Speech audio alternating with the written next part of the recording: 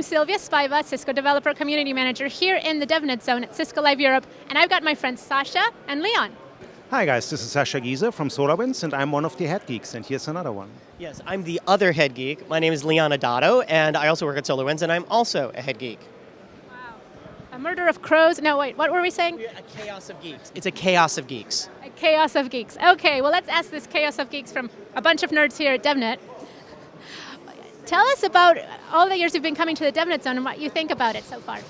So I've been coming here for about four years now, and um, when I first got here, it was just like a little corner of Cisco Live. There wasn't much to it, and I thought, oh, that's that's interesting. They're doing a little programming kind of stuff. I don't know why they would program, it's networking, but whatever. And then as the years went on, what I noticed was that, first of all, Cisco was really committed to this kind of work, but also uh, committed to helping IT pros transition or pivot from their pure networking route and switch into this idea of automation. And the other thing is the emphasis on real world activities, that this isn't some esoteric, like you're going to be a, a full stack developer and you're going to make web, no, not, none of that. It's going to take the same tasks that you're used to doing on your network gear and just automate them so that you can focus your time on the more complicated things.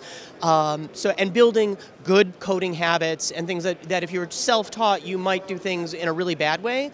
Cisco's committed to helping people avoid those hurdles. So that's what I've seen over the last few years, and it's huge now. That's the other thing is that the amount of floor space that's been devoted to this has gotten significantly larger year over year over year.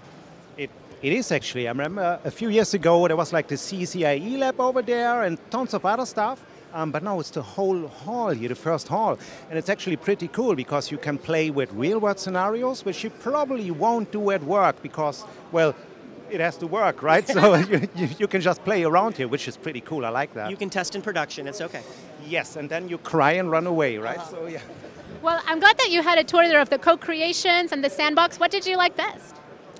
Um, actually, I, I, like the robot arm, to be honest. The moving robot arm, you, you have to see this, right? Um, this, is, this is quite cool. No, it's, it's really, there's so much to do. This, I really like it over here. So. Yeah, so my favorite area, you know, my favorite area is actually the coffee shop over there. That was, ah, right. the coffee is really important to me.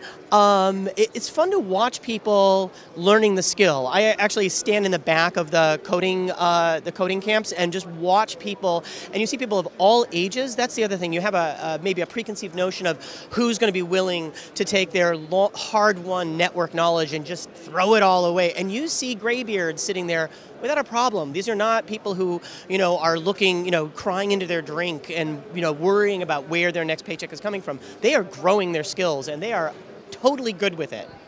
Well, speaking of growing your skills, I hope you both have heard about the DevNet certifications by now. So um, you also heard about the partner specialization, which means that partners who have several people, a certain number of people who have the DevNet certifications will be specially recognized by DevNet. How do you make the time to study and to get new skills, and what do you recommend to people? Well, it's look, we are, we are geeks, so we are interested in technology, okay? And um, there are so many flavors in technology, and you need to be, uh, you need to keep up to date, okay?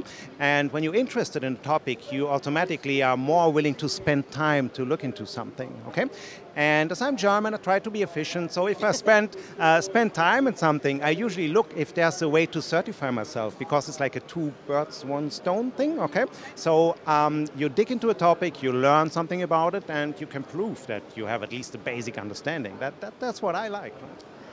Um, one of the things I've talked about before is, is people overlook the power of five minutes, that you can learn a lot in just taking five minutes of your time and uh, you know, reading through half a page or going through an example or whatever. But it does require you be organized, sort of the, back to the German thing, being efficient, that the PDF or the book has to be open and ready on your desk so that when you're waiting on hold or you're waiting for your code to compile or your, you know, whatever it is, that you have those five minutes because we have actually a lot of empty five minutes minute moments waiting in a doctor's office that you could really use. Um, and even if you're learning just a page a day, it adds up. And the other thing is to find a project that means something to you. I think a lot of times when IT pros are chasing new knowledge, they don't know what the technology is about. They don't understand the technique they're learning, and they have no reason why you would possibly want to do it. And that's a deadly combination. That if you know, if you have a pet project, and it doesn't matter if it's really useful, it could be your Dungeons and Dragons uh, lookup guide, or it could be your uh, pasta recipe book, or it could be, you know, whatever you want. But then you have knowledge of the domain, and you think, oh, this is something I could use for myself. Now, on a network side, it could be that thing that you end up doing 10 times a week. That's the perfect thing to learn to automate. If you don't do it, you still know how to do it. You can still do the work, but if you do do it, you've just saved yourself all that time, and that becomes more meaningful to you and, and becomes a good example to practice around. It is, um, it is basically important that you choose your own level of depth. Do you really want to dig into a topic which you're not so interested in, or is it okay if you just get a superficial understanding of what it does, right? That is sometimes quite often enough. That's a really good point. And you've both talked about automation and efficiencies. Now, something that we've talked a lot about here in the DevNet Zone this week is careers, people living longer, um, more things getting automated, and people having different careers. Like maybe someone who lives to be 100 will have five careers. I feel like I'm about to start my third. How do you feel about the work that you're doing now and where your journey has taken you and where you want to go in the future? Hmm. Do we know where we end in the future? I don't know.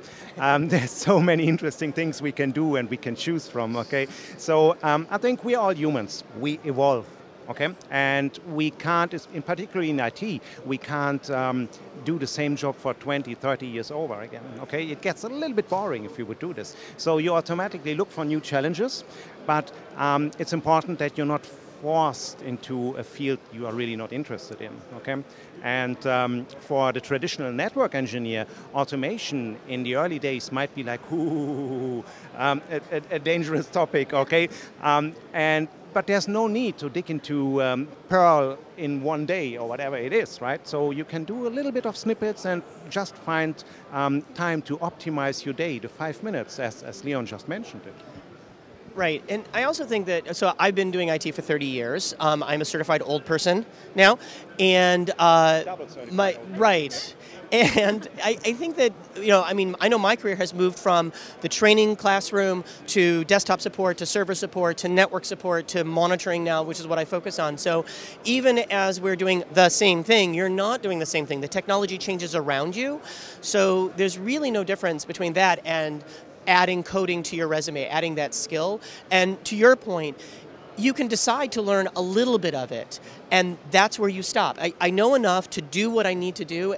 That opens up new avenues to me, whether at my same company or at a different company, to do more of it, to grow. I think even people who are lifelong programmers realize they multiple languages, multiple imitations, front end, back end, you know, uh, pure automation. I think there's different ways to express the skills that we have. And finally, um, for people who might be at the, you know, more venerable end of the spectrum, perhaps, you know, there's a, a preconceived notion that, oh, well, you know, old dog, new tricks, all of that we've seen so much, we've seen so much change around us that we understand the context of a new technique better than somebody who's new on the scene. You know, people are talking about containers. Containers are all, I call them LPARs and they run on AIX machines and I remember them because it's really not that much different. So I have an easier time assimilating that new knowledge because I have a framework, even if it's not an exact match to see. And I think people overlook that point also is, you know, you can use your old experiences to dovetail or pivot into this new whatever it is. Well, thank you both so much for visiting the DevNet Zone, and we'll hope to see you next year. I think we're going to Amsterdam, so let's see how that works. I really wish we were going back to Berlin, but maybe I shouldn't have said that. Anyway, thanks for visiting. Bye.